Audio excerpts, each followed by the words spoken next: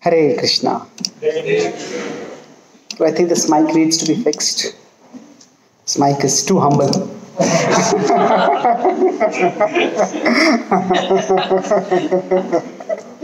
Hmm? so that's better. Yeah, thank you. To give it some self respect. so, one of the oldest themes in literature across the, the world is the conflict between good and evil, and especially the triumph of good over evil, of virtue over vice. Now, I'll talk about one such ancient story which addresses this theme in very vivid, dramatic terms. The Ramayana is a book that has, I think, the Ramayana is a book that has actually captivated billions of people for millennia. And I will talk about this primarily in three parts. One is I'll talk about the, what do we mean by good and evil or virtue and vice. And then uh, what does the Ramayana talk about this? How, what does the Ramayana story tell? And then eventually we'll talk about how this applies in our life. So let's start with the question. How many of you feel that people are basically good? Okay. How many of you feel that people are basically bad? mm, some of us, yeah. Okay, let me nuance the question. Do you feel that some people are basically bad? Some people? Actually, thank you. We would deeply like to believe that people are basically good. But when we conduct ourselves in life, we do see that people sometimes act in terrible ways. They sometimes hurt us, they sometimes betray us.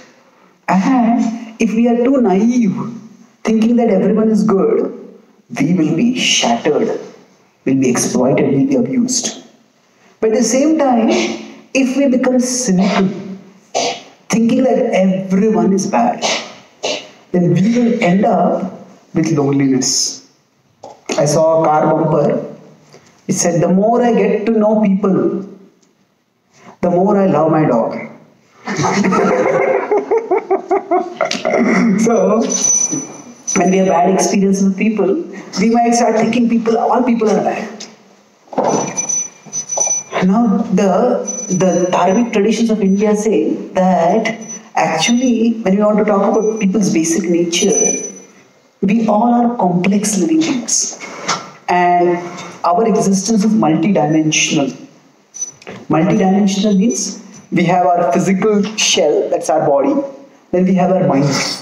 And beyond that is our spiritual essence our soul that's what we are at our core so in this three level body mind and soul at the level of body, all of us are human beings. At the level of the mind, each one of us has different desires, impressions, conceptions stored. And we, as spiritual beings, are on a multi life journey. So, therefore, we often get impressions from previous lives into this life. Now, many of you may be parents and you have children. Each child, even if both children have, if you have two, three children, all children have come from the same parents, but each child is an individual, different. Even if the children are twins, and even if they're identical twins, still they're individually different. Their personality is different. So we are, so the impressions in our mind are shaped by what uh, they come from our previous lives. They are also shaped by our upbringing. They are also shaped by our association. So basically these three factors, past life, upbringing and association, they broadly affect the kind of impressions we have in our mind. And if somebody has repeatedly done bad things, then they get habituated to doing bad. And then after some time, they may even delight in doing bad. Say, suppose we are going along a crowded road and we accidentally step on someone's foot. If you realize it, it's, oh, I'm sorry. We'll apologize. But imagine somebody steps on somebody's foot and they notice they have stepped and then they deliberately left, lift their shoe and bang it on their face. What cruelty is that? So, uh, when we talk about evil, evil essentially means to cause suffering for the sake of causing suffering. Sometimes, just the way like things are in the world, suffering is unavoidable. If I'm going on a crowded road, I might just step on someone's foot because it's so crowded I can't avoid it. That's unavoidable. Sometimes suffering is essential, as when a doctor gives an injection, a doctor does surgery. Some pain is essential, but it serves some purpose. But when suffering is caused simply for the sake of causing suffering, that is evil. So now that's a very broad definition of evil. But evil does exist. There are some people who are sadistic, just delight in causing pain to others. So now, why are some people like this? Because the impressions within them are like that. They have very dark impressions which impel them to do dark things. And not only they impel them, they give in to those impulses and they keep doing dark things. So it can be because of anger, it can be because of greed, it can be because of lust. I had a friend in Russia. He told me that during the communist days, there was like a, a, a satirical cartoon which was propagated in, in USSR. It said that the news says that the price of vodka has risen. So then a child asks his father, Dad, now will you drink less? Because the price has gone up. And the father says, No, you will eat less. So now somebody can get so hooked on to something that just to gratify their craving for alcohol, they may deprive their children of food.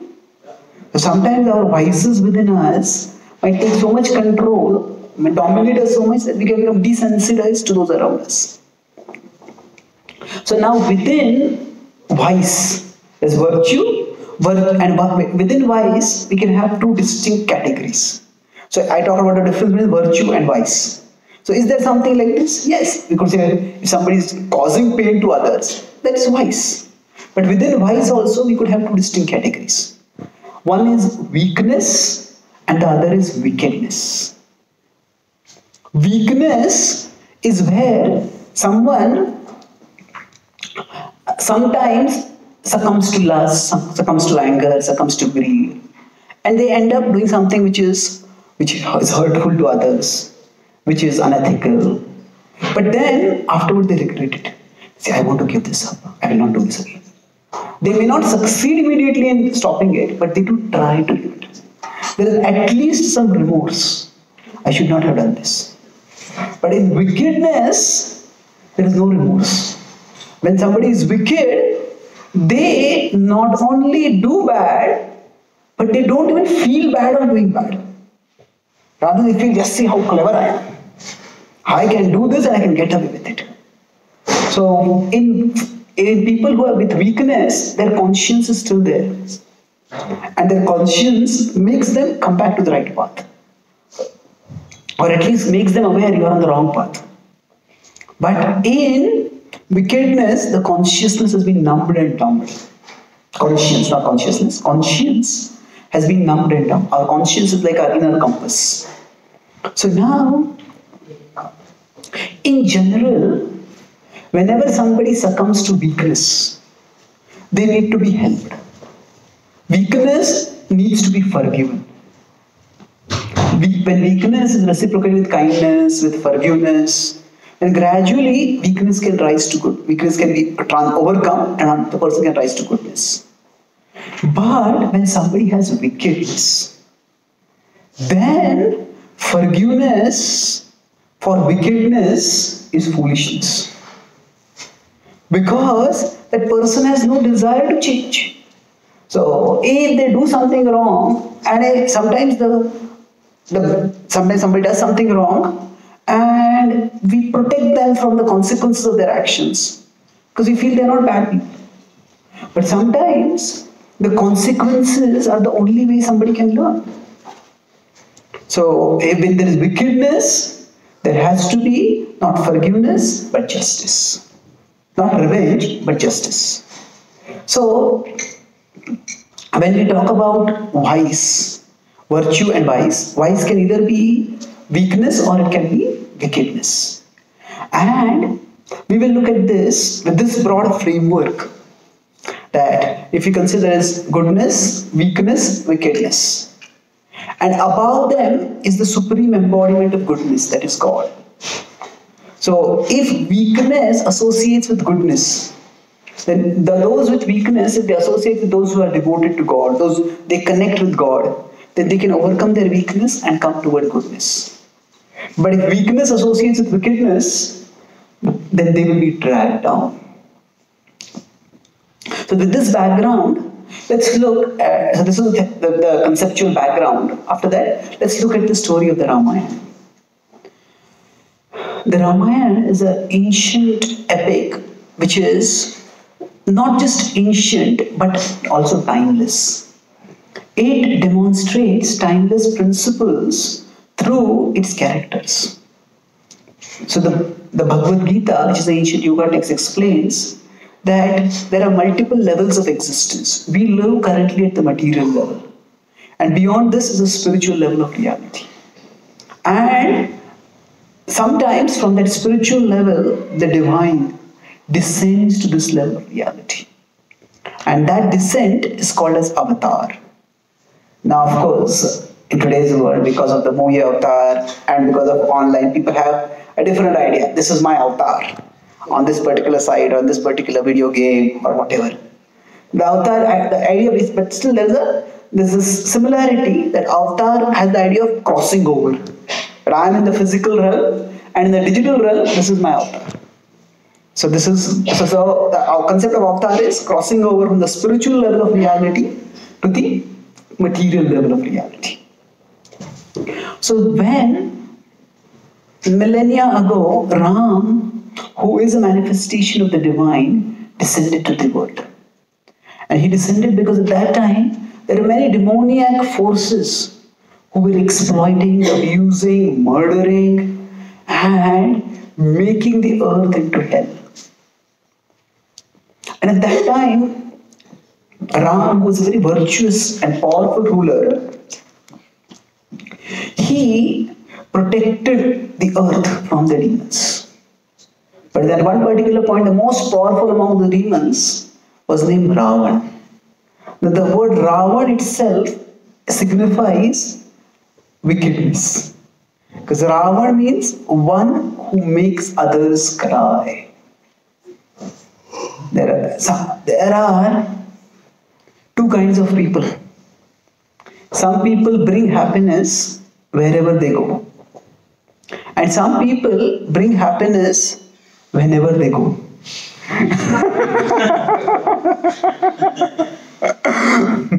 so Ravan was like that in the second category. Wherever he would go, people would start crying. He was such a horrible person. Whenever people he would go away, people would heave a sigh of relief. Of course, they could heave a sigh of relief if he kept them alive. Hmm. Very brutal. And eventually, he he was also generally whenever somebody has power it power very easily goes to the head. And once the power goes to the head one starts thinking that everything should dance to my tune. That everything is for my pleasure for my enjoyment. So ram had a had a beautiful queen a consort sita and Ravan, through a vicious conspiracy, abducted Sita. And then Ram had to make a great effort to recover her. At that time, Ram had no army. He was in the he was for a period of, of few years living in the forest at that time as a mendicant, although he was a powerful prince. So he had no army. And he has formed an army of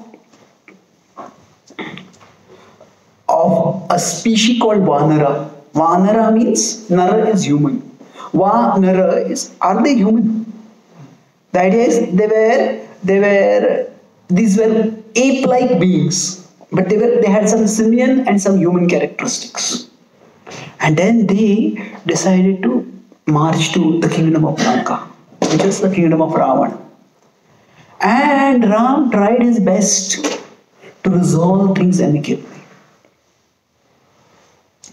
Nowadays, we are very apprehensive whenever somebody talks about, whenever violence is associated with religion. Because we have the specter of terrorism.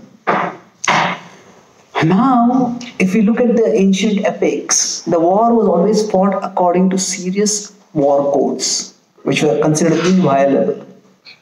And the basic principle in the war code was that no civilians are to be attacked.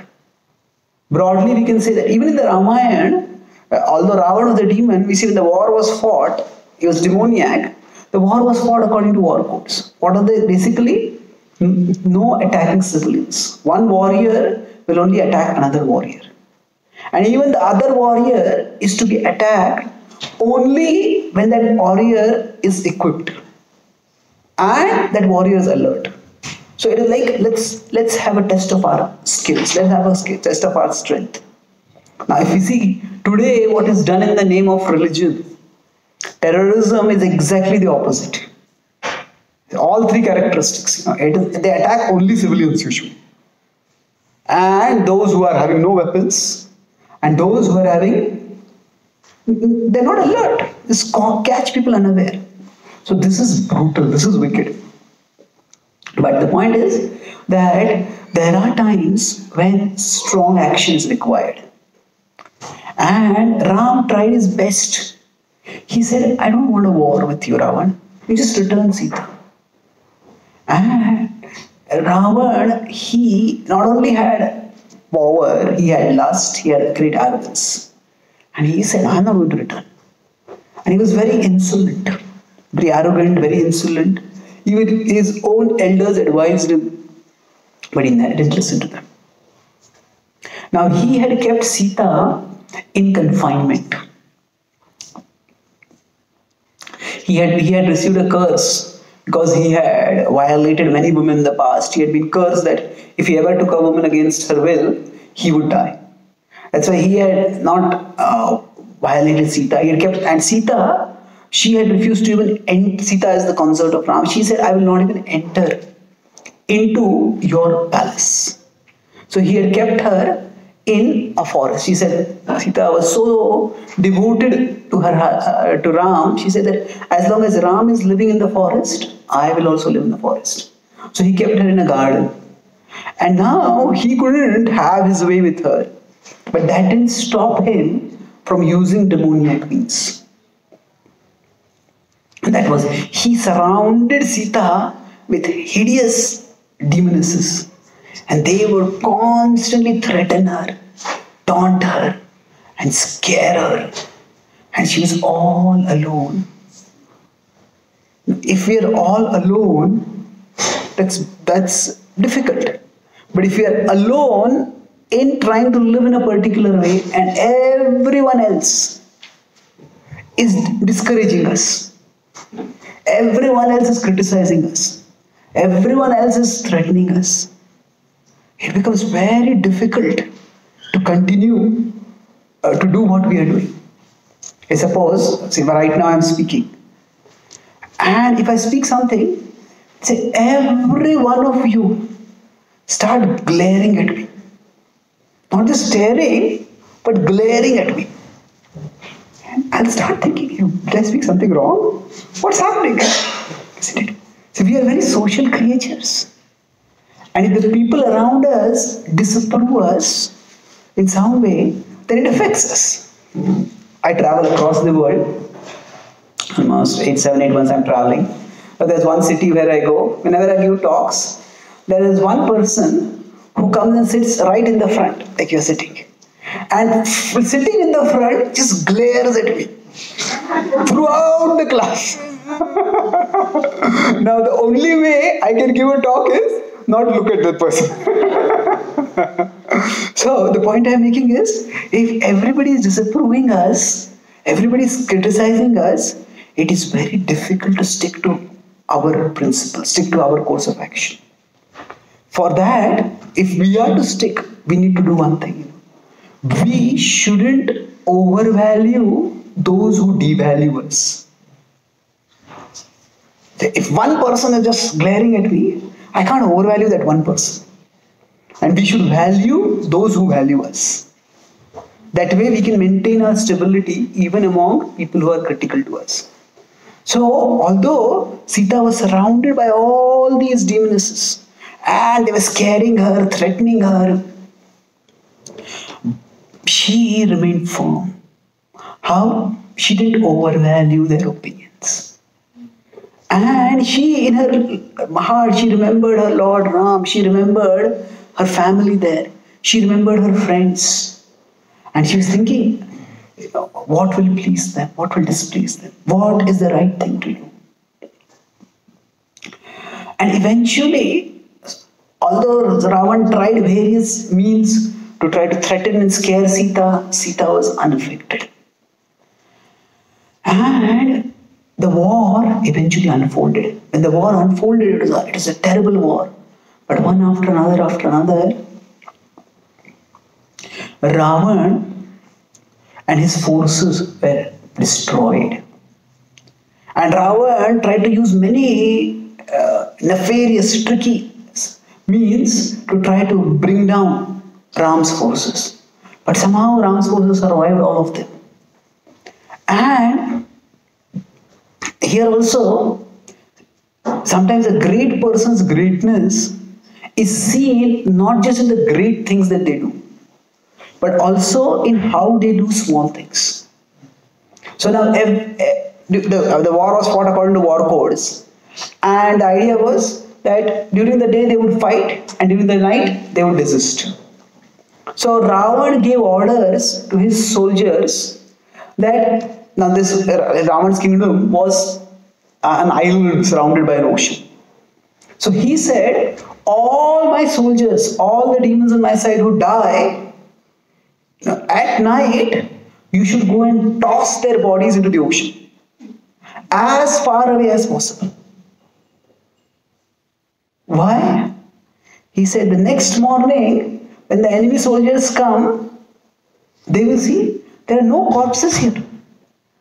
And they will become discouraged, thinking that we did not cause any casualties on the other side. So he had literally an attitude of use and throw. so that's now some, we have some people have we have use and throw commodities now. That's sometimes very detrimental to the environment because if it's just one time use, it just pollutes the environment. Mm. In the oceans, there is a great garbage patch. It's like miles and miles of garbage, which is there in the mm. is the Atlantic or the Pacific Ocean? Pacific. Pacific Ocean, yeah, the great, uh, great Pacific. So use and throw things. And now we may do it with things, but Ravan would do it with people. Get them to fight for him and throw them away physically.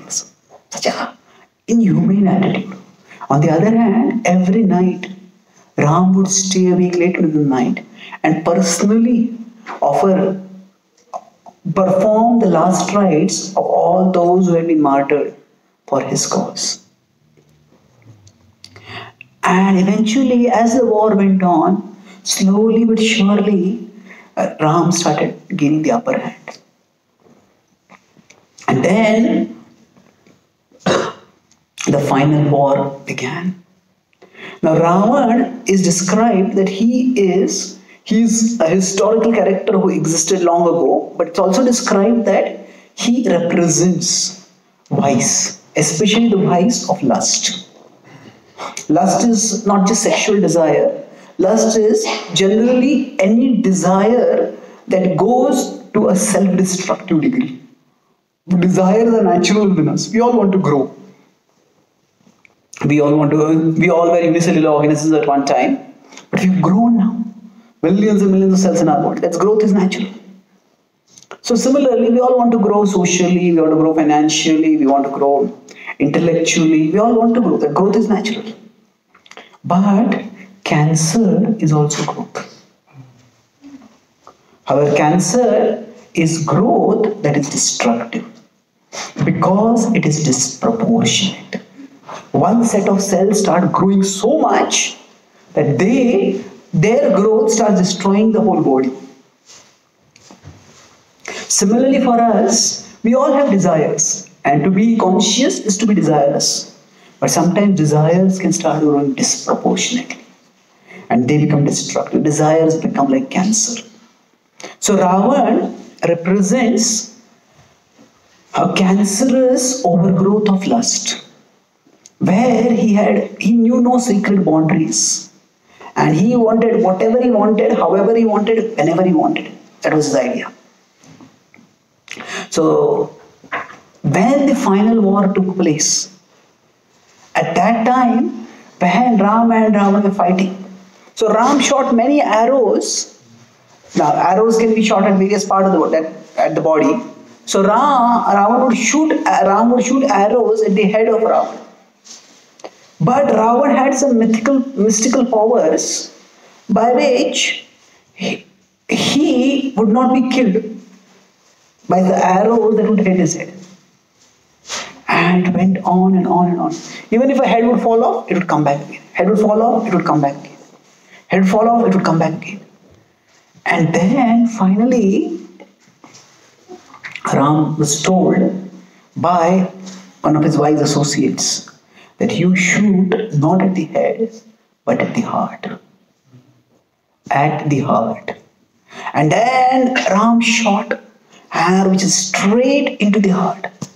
And when it went into the heart, it just pierced Ravan through the heart and he fell. Life leaving his body. When he left, when his soul left his body, he gave a roar that shook the earth. And that day, when Ram won that great war over Ravan, that day, historically, the anniversary of that is tomorrow. That is called Ram Vijayotsav. The, the celebration on the victory of Ram. It's called also Dasera. Now, in India, on this occasion, there are giant effigies of this Ravan made. And then there are, there are people who come together and they, there's a big bow from which the arrow is shot and his flying, flaming arrow goes and hits the effigy of Ravan, and then the whole effigy catches fire. And what it symbolizes is that we pray for purity. That this symbolizes that just as the vicious Ravan was overcome by Ram, similarly, whatever vices are there in our heart, they may also be overcome by the potency of Ram. That the potency of Ram also manifests as his names. So we are already doing the kirtan of the Hare Krishna mantra, in which also we have the name of Ram. So when we chant these mantras, it is like arrows are going into our heart.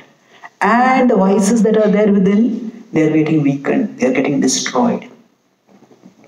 It's, it's significant that as long as the arrows were hitting the head, they were just, the heads were regrowing. But when the arrow pierced the heart, it was over. So, what that signifies is that we cannot overcome desire simply by removing the visible manifestations of the desire. Visible manifestations means if I just say, okay, I have something, some bad habit which I don't want to do, but I keep doing it, and I resolve I will not do it ever again.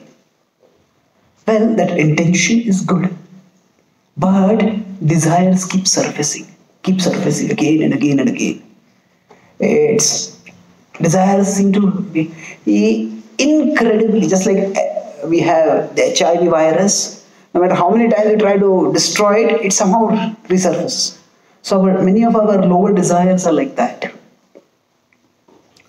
So there, many of us make New Year resolutions. So I was once invited for a talk show, a radio talk show on uh, New Year resolutions. So I had done some research. So it seems almost 80% of the New Year resolutions that people make, the, the resolutions they make on New Year are not new. you made the resolution the previous year, it stayed for some time, and then it went off. So what happens is that when we try to attack desire, it doesn't work. Because the desires are too resilient. They just keep coming back again and again. So when Ram hit the arrow at the heart, what that signifies is that we don't just try to change or control our desires. We change our heart. Change our heart means change our conception of what is desirable. That comes by spiritual education, that comes by spiritual purification. So as so when we're trying to control desire, that means what? Yeah, this is good, but I'm not meant to do this. Now we may say, yeah, I know it's not good, but we may say it, it's harmful for me. We might verbally say it, but inside us, we don't believe it. So the real way to deal with desires is not simply to try to control them externally. Yes, sometimes some amount of control is essential.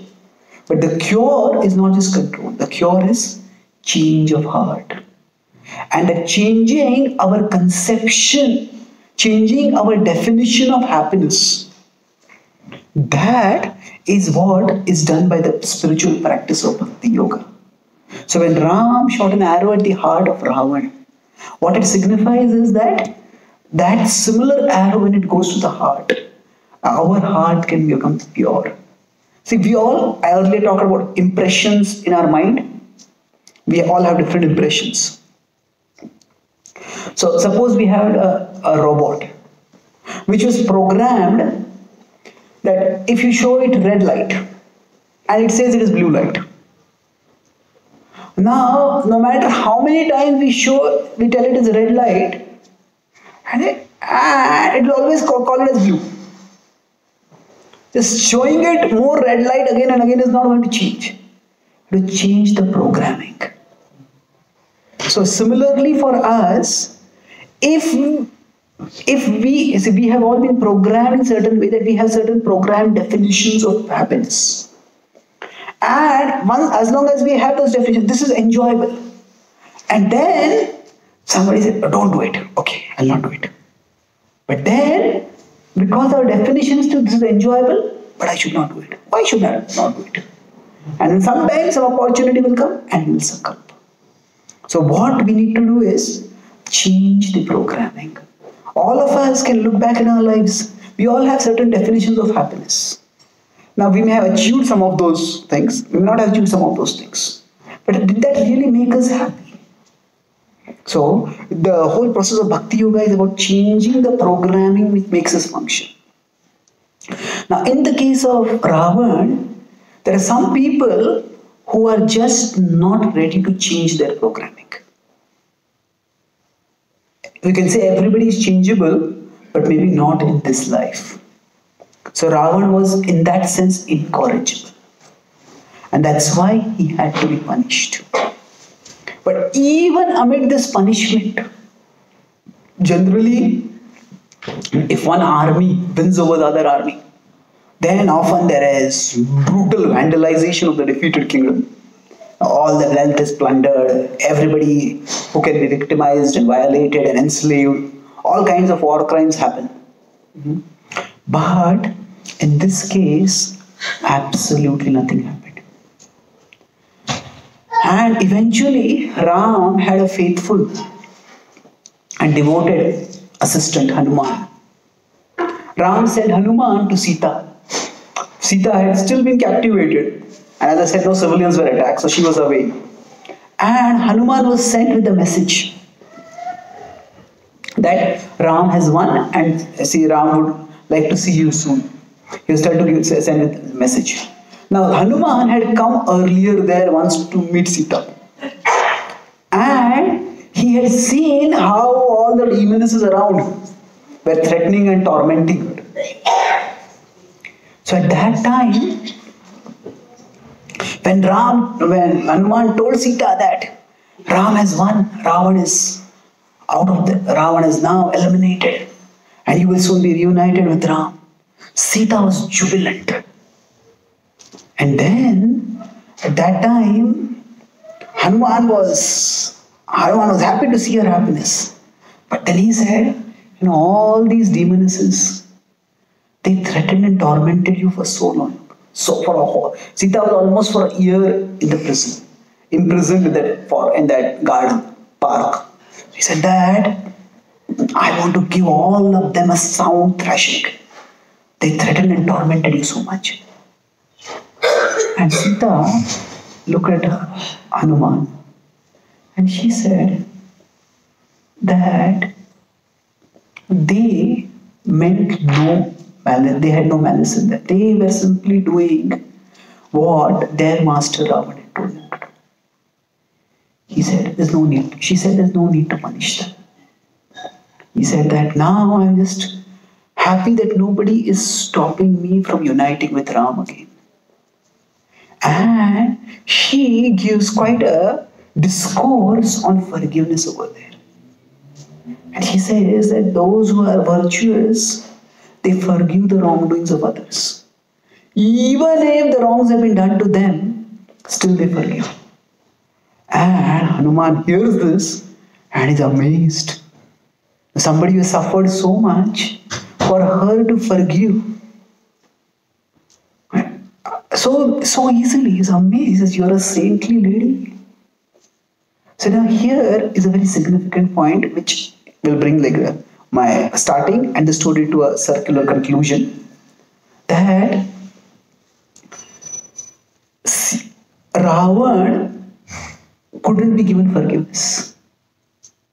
But the demonesses were given forgiveness.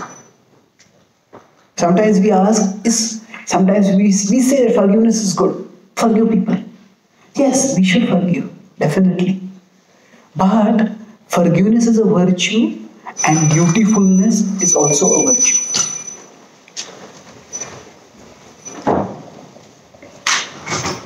Forgiveness is a virtue and dutifulness is also a virtue.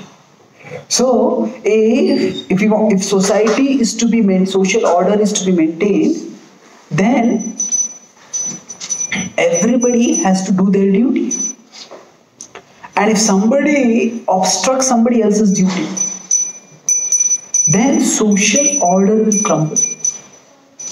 So if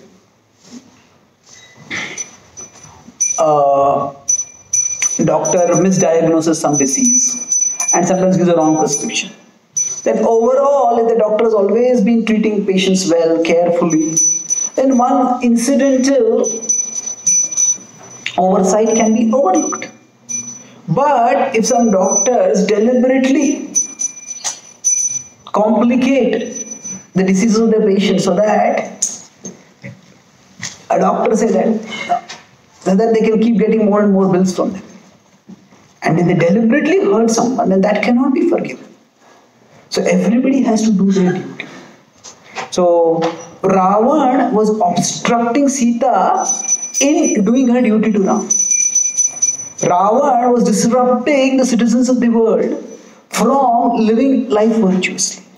The, the demonesses, they were simply obeying Ram. So when somebody is disrupting social order, strong action has to be taken against them. But there is no, there is, even when there is justice, there is a difference between justice and vindictiveness. Justice is done not so much because you did this to me, so I will do this to you. Rather, you did this to me, and if you do not get consequences, then you will keep doing this to others. And others will also start doing the same thing. So, for the sake of maintaining order in society, justice is required. It's essential. But vindictiveness is that you did this to me and I'll do this to you. When people are vindictive, they, when they are revengeful or vindictive, they basically become obsessed with the other person. And their whole sense of self existence and their purpose of their existence become centered on causing pain to those who have caused pain to them. And that is a very negative way to live. So Ram, as a virtuous king, had to punish those who were vicious. And he did that to Ravan. But Sita, in her virtuous nature, she saw that they are no longer a threat to me. So she forgave. Let them go. So we see this dynamism that apply that is demonstrated in the Ramayana. So the victory was not just that Ram defeated Ravan. That, that's glorious. Good triumph over evil. But the victory is also that Sita never became bitter. Sita never became vindictive. That sometimes what happens is when good tries to overcome evil, good may overcome evil, but in the process, good itself becomes evil. Sometimes when we deal, when we are dealing with bitter people, when we are dealing with bad people, then just trying to deal with them also makes us hard-hearted, makes us harsh, makes us uh, it contaminates us. So ultimately, for all of us, the virtue of we all have, as I said, we have at our level of soul, every one of us is pure, every one of us is godly. Every one of us has a potential for virtue and godliness. But at the level of the mind, all of us have different impressions. And some impressions are good and some are not so good. So we need to rise from, so this potential for virtue has to overcome the propensity for vice that is there within us. It could be a propensity for weakness or it could be a propensity for wickedness this potential for virtue has to rise. So I asked, is everyone innately good? Yes, at the level of soul, everyone is innately good.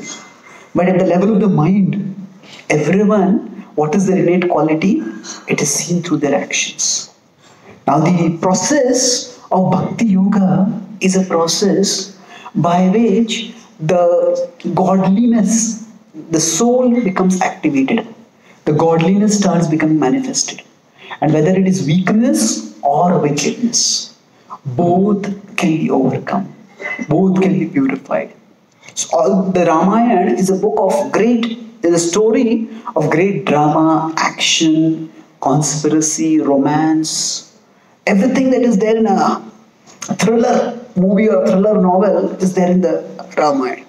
But beyond it all, it is a demonstration of the potency of, potency of divinity to uplift humanity so that our divinity starts manifesting. Our godliness and our virtue starts manifesting. And that is what inspired that um, millions for millennia. The purifying potency of the ramayana is what has attracted people throughout history especially in the dharmic traditions in India as well as the Indian subcontinent.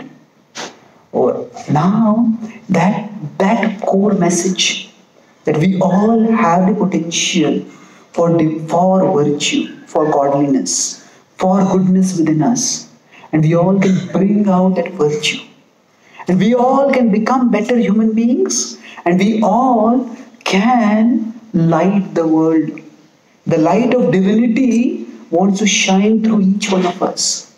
And to the extent we let the propensity for vice within us control us, then we don't let that light of divinity come through. And to that extent, our heart and our life remains darker. And not just our heart and our life, but our world remains darker. But if we connect with the divine through the practice of bhakti yoga, and then those impurities start getting removed and then the light of divinity starts manifesting through us, through each one of us. Now, if we can pull our act together, if we can overcome our propensities toward weakness and wickedness, then each one of us can do so much more good. Each one of us can become so much better. And how much good we can do, that even we don't know. Because God can manifest through us. God can use us as His instruments for doing good in the world. and discover just by pulling our act together, discovering how much good we can do. That is life's ultimate adventure. Not just climbing up some mountains or going skiing or going uh, any kind of adventure sports. It's fine. But discovering how much good we can do. If we bring out the goodness within us, that is life's ultimate adventure. And the triumph of good over evil, which the Ramayana and the Ram also demonstrates, is a call for such an adventure for every one of us to discover how good we can become and how much good we can manifest in the world by manifesting our godliness from within. So I'll summarize what I spoke. I spoke today on the theme of the significance of the Ram Vijayotsav. I started by first talking about a common motive throughout history has been that the battle between good and evil. And we talk about good and evil in somewhat subtler terms that every one of us at our at the level of soul is good. At the level of mind, we have different impressions. And the impressions can be of some goodness or can be of vice. Vice has two categories, weakness and wickedness. Now weakness is where a person does wrong, but their conscience tells them it's wrong and they try to overcome it. Wickedness is their conscience is dead. So weakness deserves forgiveness. Wickedness deserves consequences, deserves justice. So then this theme, I should talk about how it's demonstrated in the Ramayana. Now Ram, his, his queen was abducted by Ravan. And Ram tried by every possible peaceful way to resolve, but Ravan was arrogant and adamant. And eventually a confrontation was unavoidable. But even that confrontation, Ram did not lose his compassion. Ravan had a use and throw attitude towards his soldiers, throwing them, tossing them into the ocean so that the enemies would notice. How wouldn't be encouraged by thinking how many casualties there on the opposite side. But Ram personally prayed every night for his uh, for his soldiers for performing their last rites. And eventually, in the final battle between Ram and Ravan, Ram, Ravan was not killed by the attack on his heads. It was by the attack on his heart. So Ravan's head represents our various desires, our ungodly desires, our lower desires. Because by trying to control those desires, I will not do this. That doesn't work. We need to go to the heart. Change the heart means change our conception of what is pleasure. And that change of conception happens through spiritual education and spiritual purification, which is done through Bhakti Yoga. So Ram's arrows going to Ravana's heart is similar to the names of Ram going to our heart. And they will remove the vice, the weakness and wickedness within our heart. Now, the triumph of Ram over Ravan is not just a sole victory. When Hanuman wanted to punish those who had tormented Sita, Ram said, Sita said no. And she did not become vindictive. Although she lived amongst evil and she underwent great suffering, she did not become vindictive. And that was also a triumph of good over evil. The association with evil did not make good evil. So, for all of us, wherever we are in life, if we can bring out the potential for virtue within us and we can overcome the propensity for vice that is there within us, we all can become much better than what we are. The light of divinity can shine through us and make the world brighter. And discovering how much good we can do in the world if we connect with God. That discovery is life's ultimate adventure. And the Ram, Ram's triumph over Ravan invites us all to join in that ultimate adventure of life. Thank you very much.